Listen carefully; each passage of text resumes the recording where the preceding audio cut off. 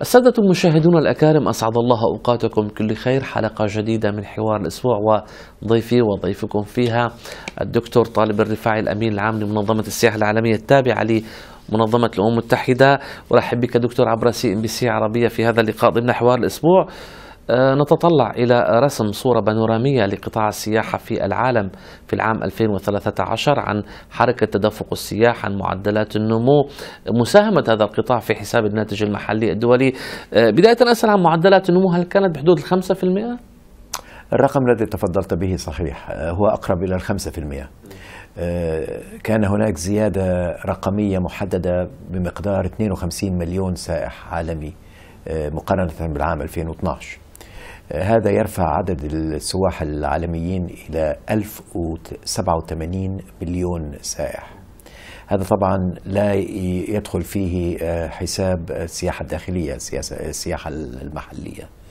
آه، الأرقام التي تتعلق بالمدخولات السياحية لا زالت لم تغلق بعد لأنها تأخذ بعض الوقت في مراجعتها. ولكن إذا قارنا هذا الأمر بالعام 2013 العام 2013 بالعام 2012 فنحن نتوقع بأن تكون الزيادة بحدود 4.5 إلى 5% كما تفضلت على 1.3 تريليون دولار كان المدخول السياحي في العام 2012 فلك أن تتخيل مقدار الحجم الكبير لهذا النمو علما بأنه حصل على خلفية أزمة اقتصادية في أوروبا وعلى خلفية أزمات طبيعية ونزاعات وحالة عدم استقرار في عدد كبير من المناطق العالمية.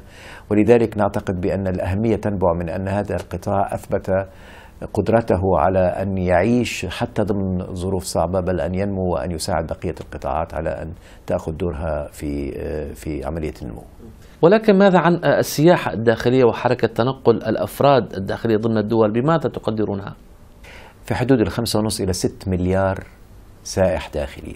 تعريفنا للسائح هو من يقضي أكثر من ليلة خارج مكان إقامته. في الصين وحدها كان في العام 2013 3.1 بالعشرة مليار رحلة داخلية.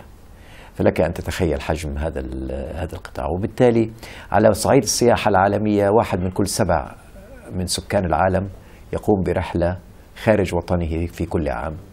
وعلى صعيد السياحة الداخلية يكاد يكون بأن كل شخص في العالم بيقوم برحلة على الأقل مرة واحدة في السنة في داخل أو خارج وطنه.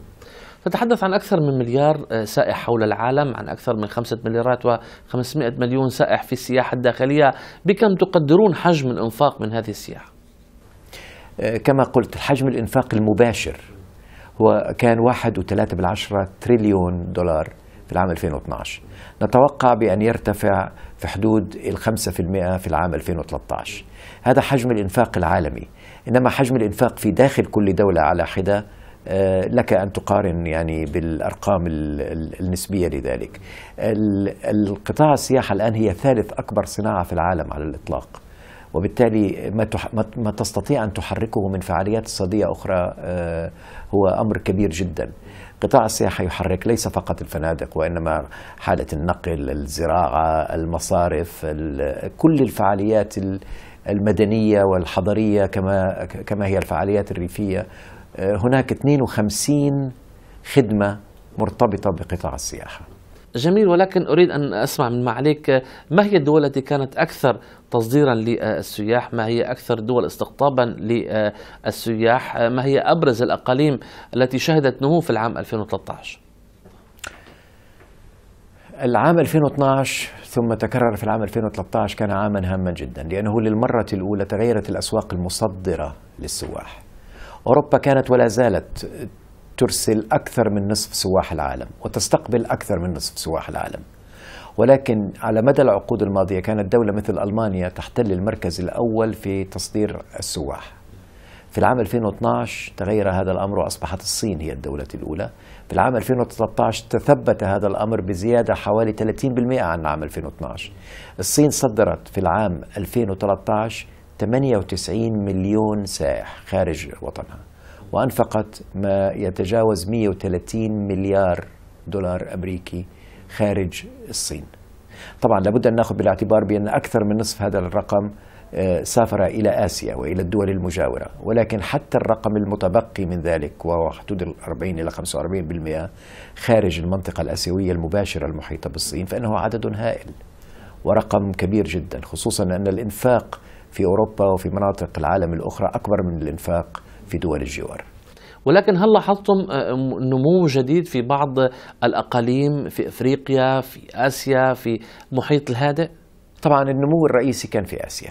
آسيا لا زالت تتصدر النمو 6.5 إلى 7% نمت بمقارنة مع المعدل العالمي ال 5% وسوف يبقى هذا الأمر دائما في صالح آسيا خصوصا شرق آسيا وجنوب شرق آسيا. بالتحديد دول ما يسمى بالآسيان العشر دول ثم الصين اليابان وكوريا آه، أيضا تلعبان دور هام ولكن أيضا الملفت للنظر النمو الثابت الذي آه، حصل في إفريقيا في العام في الاعوام الخمسة الماضية. إفريقيا كانت تنمو بمعدل 4.5 إلى 5% كل عام. طبعا لا زالوا آه، يبدأون من قاعدة آه، رقمية اسمية متواضعة. يعني لا زالت إفريقيا لا تستقطب أكثر من 5.5 إلى 6% من سواح العالم.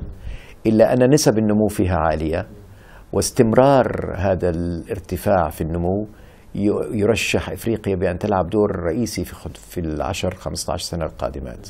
إفريقيا لا زالت تستقطب فقط 50 إلى 55 مليون سائح بينما قدرتها على الاستيعاب طبعا تتجاوز ذلك بأضعاف كبيرة. فإذا كان لي أن ألخص أقول أنا ال ال ال الاتجاه يسير في صالح آسيا بشكل رئيسي، شرق آسيا وجنوب آسيا ثم إفريقيا. أوروبا آه، سوف تبقى مسيطرة على سوق السياحة العالمية ولكن نسب النمو لن تكون بنفس درجة الارتفاع لأنها وصلت إلى حالة من التشبع كما يمكن أن نسميها ثم أن الأسواق الصاعدة نمت بشكل كبير جدا الأمريكتين الشمالية والجنوبية نسب النمو ثابتة فيها ولا يتوقع أن تكون هناك طفرات غير عادية في هذا في هذا في هذا الإقليم. لكن في في أمريكا الجنوبية هناك أحداث مقبلة كأس العالم في العام 2014 البرازيل 2016 الأولمبياد. إلى أي حد ترى بانه هذه الأحداث يمكن أن تشكل فارقا في معدلات النمو السياحية في القارة أمريكا الجنوبية؟ هذه المناسبات الكبيرة آه، يمكن أن تكون مفيدة جدا إذا أحسن إدارتها. ومن الصعب الحكم على ذلك مسبقا. هناك كثير من الدول والكثير من الأقاليم استقبلت هذه الأحداث ثم عادت الأمور إلى وتيرتها كما كانت قبل هذا الحدث. هناك الكثير من المدن والأقاليم استفادت استفادة كبيرة. مثلا مدينة برشلونة كانت في مستوى معين وبعد الأولمبياد وبعد المعارض يعني ارتفعت إلى مستوى عالي جدا وبقيت في ذلك المستوى.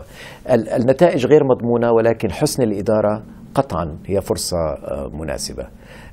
يبقى بأن آه، حدث مثل هذا على المدى الطويل في دولة مثل البرازيل في أمريكا الجنوبية لن يؤثر على خارطة الأمريكتين. نتحدث عن الشمالية والجنوبية بشكل كبير. سوف يبقى معدل النمو حسب تقديراتنا في الأمريكتين بين 3.5 إلى 4% ليس أكثر من ذلك. في يوم السياحة العالمي الذي يصادف السابع والعشرين من شهر سبتمبر من كل عام في الدورة الأخيرة احتفلتم تحت عنوان السياحة والمياه. آه، ما هي المعاني والمغزى من هذا العنوان؟ آه، هناك معاني ومضامين كثيرة. احتفلنا فيها في جزر المالديفز في وسط المحيط الهندي آه، لأن عوامل التأثير التغيير المناخي تهدد الكثير من هذه الجزر وهذه المقاصد السياحية الهامة. المالديفز كلها مهددة بأن تغرق إذا لم نتدارك الأمر في خلال 50 إلى 70 عام.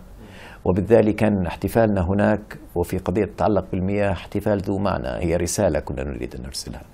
طبعا هناك أكثر من بعد لقضية العلاقة بين المياه والسياحة.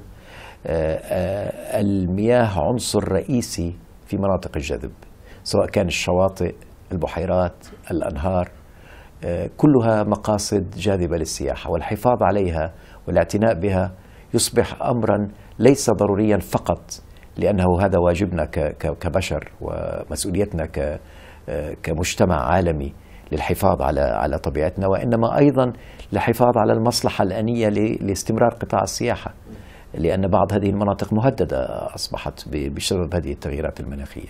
ثم هناك عامل آخر مهم جدا في النسبة للعلاقة بين المياه والسياحة وهي أن الاستهلاك الكبير لبعض المنشآت ال- ال- السياحية لمصادر المياه العذبة يجب أن يكون مدروس وأن يخطط له بعناية. لا يجوز لنا أن نحرم مجتمعا محليا معينا من قدر معين من المياه العذبة لكي نوفره إلى فندق أو إلى منتجع.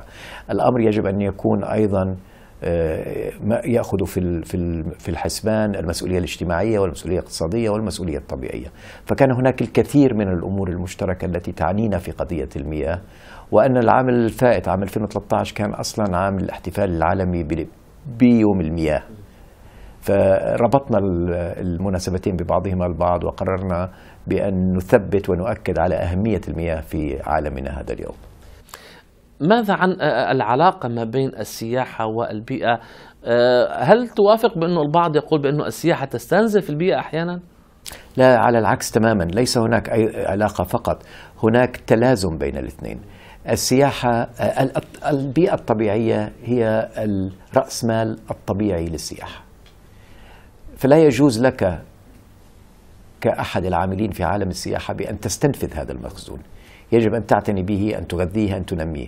فهناك مصلحة أكيدة في قطاع السياحة للحفاظ على البيئة لأنه بدون ذلك تستهلك وتستنفذ ما لديك من مصادر جذب. البيئة من ناحية أخرى يمكن لها أن تستفيد كثيرا من آه، تنمية وتطوير السياحة. آه، ال- الم- الموارد التي توفرها يوفرها قطاع الس- السياحة لل- لل- للحفاظ على البيئة آه، أمر هام جدا.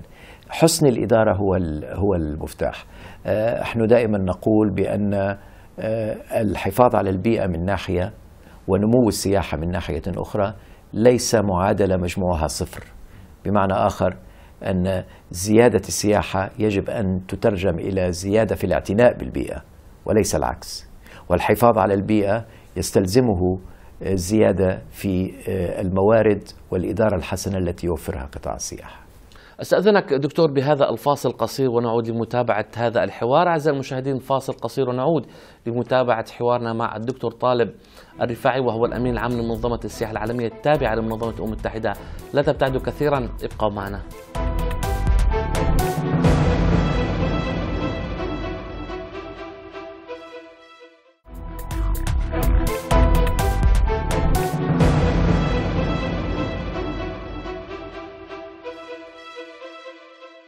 مرحبا بكم من جديد أعزائي المشاهدين ومتابعة لحوار الأسبوع وضيفي وضيفكم فيها الدكتور طالب الرفاعي الأمين العام لمنظمة السياحة العالمية التابعة لمنظمة الأمم المتحدة. ما تزال التأشيرات والضرائب آه، تحديان رئيسيان في صناعة السياحة حول العالم، آه، كيف تتعاطون مع هذين التحديان للوصول إلى سياحة أفضل؟ هذا صحيح آه، الهيئة العامة لمنظمة السياحة العالمية التي اجتمعت في العام الماضي كلفت آه، منظمة السياحة وكلفت أمينها العام بالاهتمام بثلاثة أولويات تعتبر معيقات أمام تطور صحي وأفضل لقطاع السياحة. التأشيرات وليس فقط التأشيرات وإنما آه، ما يسمى بسهولة السفر تسهيل السفر بكل ما يعني ذلك. التأشيرات كيف تتعامل في المطارات كيف آه، تعبر ال- الحدود كيف تنتقل من الطائرة إلى إلى إلى إلى الحافلة إلى المركب إلى السفينة. كل هذه الأمور التي تتعلق بتسهيل السفر. ثانيا الضرائب كما آه، تفضلت ثالثا آه، آه، ما نسميه بقطاع النقل وخصوصا قطاع النقل الجوي وما له من علاقة في سهولة الوصول إلى الموقع والمقصد. هذه الثلاث عناصر كل واحدة منها تشغلنا الآن شغلا كبيرا. فيما يتعلق بالتأشيرات وسهول السفر على سبيل المثال. لك أن تتخيل بأنه إلى غاية يومنا هذا 66% من سكان العالم يحتاجون إلى تأشيرة مسبقة تؤخذ من السفارات أو قناصل لكي يذهبوا إلى مقصد آخر غير مقصدهم الأصلي. 66% ثلثين البشر في هذا العالم. 18% فقط من سكان العالم يستطيعون التنقل إلى مقاصد مختلفة دون الحاجة إلى التأشيرات.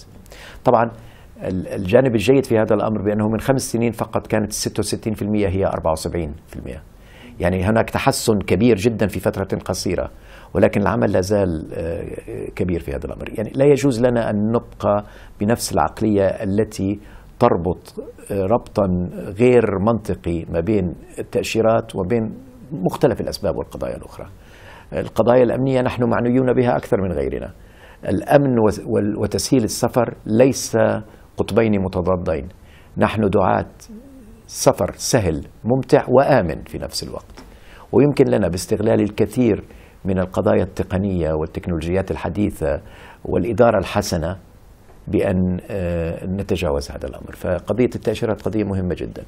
قضية النقل أيضا قضية مهمة خصوصا للمناطق والمقاصد البعيدة آه، ما يسمى باللغة الإنجليزية اللونج هول وفي مناطق التي لا يمكن الوصول إليها غير بالطائرة كالجزر.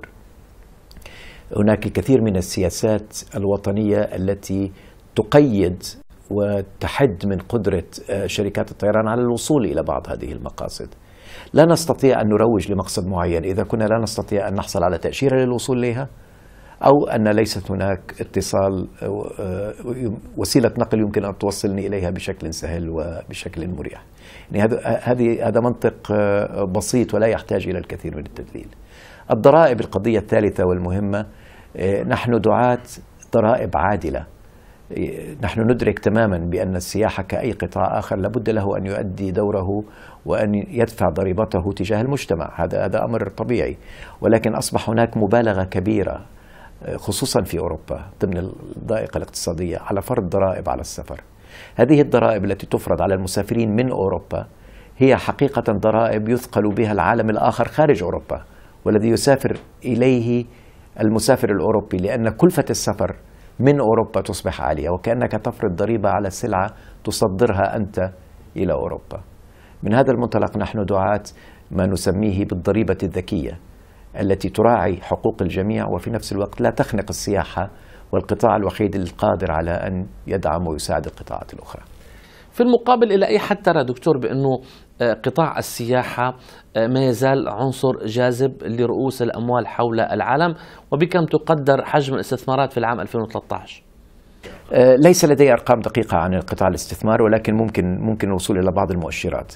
دعني أقول من حيث المبدأ بأن الاستثمار في قطاع السياحة لا زال دون التوقعات، لا زال دون ما يمكن أن يكون عليه ومنعكسا عاكسا لأهمية هذا القطاع. والسبب بأن نسبة الوعي ودرجة الوعي بأهمية قطاع السياحة لم تصل بعد إلى المستوى المطلوب لا زال الاستثمار في قطاع السياحة محصور على الاستثمارات الصغيرة ولا لا زالت الكثير من البنوك والمصارف لا تملك الخبرة ولديها الكثير من التردد في الإقراض للمشاريع السياحية. آه هذا الأمر مرتبط بالوعي العام ودرجة الفهم لأهمية هذا القطاع. ولكن ال ال القلة إذا صح لي التعبير بهذا الشكل التي تستثمر في قطاع السياحة تدرك تماما بأن هذا الاستثمار مجدي.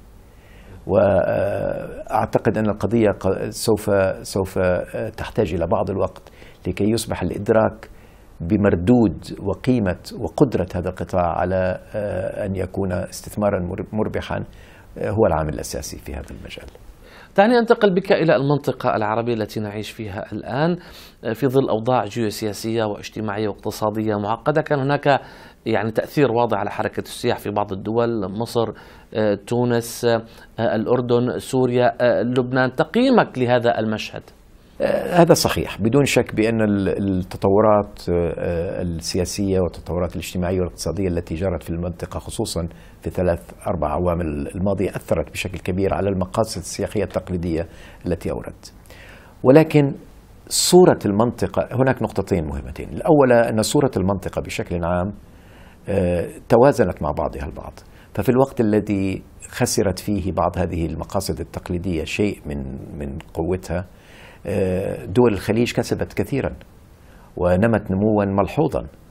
آه، الإمارات قطر عمان آه، حتى الكويت. يعني شهدنا تحويل لبعض المسارات باتجاه هذه الدول وبالتالي هذه صورة المنطقة عندما نجري حساباتنا للمنطقة الشرق الأوسط بشكل عام لم تكن كلها واحدة. لكن القضية الثانية الأهم بأنه حتى في المقاصد التقليدية مثل مصر مثل تونس مثل الأردن الأردن لم لم يتأثر كثيرا تأثر ولكن ليس بشكل كبير. التأثر الأكبر حصل في في سوريا طبعا يعني أنه الوضع في سوريا واضح بأنه وضع معقد جدا ومصر وتونس. ولكن الملحوظ بالنسبة لمصر وتونس مثلا كمقصدين مهمين بأنه في كل مرة تهدأ الأمور فيها قليلا حتى ولو لبضعة أشهر تعود السياحة بسرعة. فهذا يعطينا مؤشر على أن القضية ليست حتمية وليست طويلة المدى. يعني السياحة صناعة حساسة بدون شك تتأثر بالاستقرار السياسي وبالاستقرار في كل بكل مناحيه ولكنها أيضا صناعة آه، صلبة وقوية وقدرتها على العودة سريعا كبيرة خصوصا إذا كانت هناك تقاليد متينة وقوية في ذلك البلد. دولة مثل مصر عمرها 9000 سنة ومقصد سياحي من من مئات السنين ولديها الكثير من البنى التحتية والخبرات والقوى البشرية المؤهلة. لن تذهب هذا لن يذهب هذا آه، مع بالرياح بسهولة. بياخذ شيء من الانتكاسة ولكن بيعود إلى ال إلى ال إلى العودة وإلى صحته. فإحنا تقديراتنا بأن الأمور في منطقة الشرق الأوسط في خلال العشرة إلى 15 سنة القادمة سوف تكون بالاتجاه الإيجابي. يعني أعطيك مثال. في العام 2000 كان بيجي حوالي 24 مليون سائح دولي إلى المنطقة العربية. الآن بيجي حوالي 60 مليون. في 15 سنة 14 سنة. تقديراتنا أنه في العام 2030 المنطقة العربية سوف تستطيع أن تستقطب 149 مليون يعني حوالي 150 مليون سائح. ثلاث أضعاف تقريبا ما هي عليه الآن. تقول لي كيف هذا ممكن يصير؟ بقول لك من خلال حكمنا على التجارب السابقة. حتحصل انتكاسات بعض الدول حتتأثر بعضها حت... لم تتأثر تستفيد ولكن الأمر سوف يعادل بعضه البعض وسوف يكون هناك تقدم بشكل عام. اللافت في ظل هذه التطورات بأنه الخليج استطاع أن يشكل نقطة جذب سياحي في في المنطقة. هل تعتقد أن الخليج يمتلك هذه المقومات ليشكل منافس أو نقطة جذب سياحي؟ الخليج كان يستقطب 36 إلى 37% من القادمين إلى الشرق الأوسط من خمس سنين فقط. الآن بيستقطب أكثر من 50% فيعني لك أن تتخيل. وطبعا هذا لم يأتي من فراغ. يعني البنى التحتية الاستثمار الجدية. يعني إحنا اليوم في قطر آه، عم نتحدث إحنا من من الدوحة آه، سوف تطلق الاستراتيجية السياحية للعام 2030 هذا تعبير عن جهد وإرادة سياسية في تحقيق آه، شيء هم مؤمنين فيه. البنى التحتية الاستمرار اللي الاستثمار اللي حصل فيها المطارات شركة الطيران اللي قادرة تجيب الناس من كل أنحاء العالم وتجعل من من الدوحة أو من دبي أو من أبو ظبي هب آه، لكل لكل العالم. آه، التدريب الكفاءات والقوى البشرية لهذه الصناعة كل هذا بياخذ وقت وأنجزته إلى حد كبير الكثير من دول الخليج وبالتالي الآن ابتدأت ابتدأت مرحلة قطف الثمار. ولكن ألا تعتقد بأنه آه، بعض الدول في الخليج آه، ربما تحتاج إلى تطوير آه، وتحديث في القوانين والتشريعات التي تنظم حركة النقل وحركة الدخول والخروج لتطوير صناعتها السياحية؟ صحيح صحيح واسمح لي أن أتجاوز قليلا وأقول أنه أحد الأشياء الرئيسية التي يجب أن تتغير وأن ينظر إليها بشكل مختلف هي قضية التأشيرات وقضية سهولة الدخول والخروج وكيف يمكن أن نتعامل معها بعقلية آه، أكثر قدرة على أن تتفهم الفروق بين بين الناس وأن تستطيع بأن تستفيد بأكبر قدر ممكن من القوى الجاذبة التي تمثلها هذه الدول. ولكن هناك أيضا قوانين وأنظمة التشريعات المتعلقة بالاستثمار بالتصنيف بحقوق المستثمرين بحقوق الزبائن إلى آخر هذه الأمور. ولكن الأمور ماشية في الاتجاه الصحيح في تقديرنا. أختم بالسؤال حول العام 2014 وقراءتكم وتوقعاتكم لهذا العام إن على صعيد حركة السياح أو آه، تنقل وكذلك أيضا ما هو متوقع من عوائد مالية من حركة السياحة العالمية. آه، إحنا أصدرنا توقعاتنا للعام 2014 في بداية العام الحالي في منتصف شهر يناير ونتوقع نموا عالميا بحدود الأربعة إلى الأربعة ونصف المئة. يعني أقل قليلا مما كان عليه في العام 2013 ولكن استمرارا وتثبيتا لنهج النمو. تقديرنا بأن آسيا سوف تحقق نقطة أو نقطتين فوق المعدل العالمي. آه، أوروبا سوف تبقى نقطة أو آه، ضمن المعدل العالمي أو نقطة أقل من المعدل العالمي. آه، أفريقيا سوف تستمر في في نموها. الأمريكتين سوف تكون أقل قليلا من المعدل العالمي. لدينا تقديرات تفصيلية يمكن الاطلاع عليها من خلال آه، نشراتنا بشكل عام وبالتلخيص الأمر بأن السياحة سوف تستمر في نموها ولو بمعدلات أبطأ ولكنها أعلى كثيرا من أي قطاع آخر ضمن الظروف الاقتصادية الحالية التي يمر بها كثير من أقاليم العالم الهامة. في نهاية هذا اللقاء لا يسعني إلا أن أشكرك معالي الدكتور طالب الرفاعي وأنت الأمين العام لمنظمة السياحة العالمية التابعة لمنظمة الأمم المتحدة شكرا جزيلا. كنت معنا في CNBC عربية ضمن حوار الأسبوع.